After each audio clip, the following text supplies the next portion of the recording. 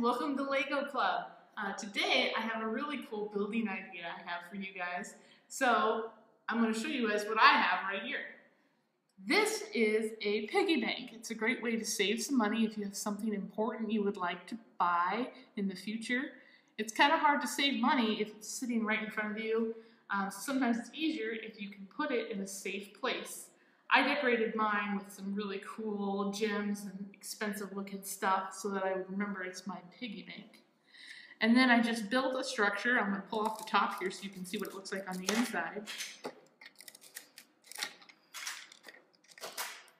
So I built a structure that would have plenty of room in the inside for lots of money because I'm expecting to be able to save up a lot. And on the bottom here, I have a differently colored brick that comes off really easy so I can access my money without having to take the top off if I don't want to.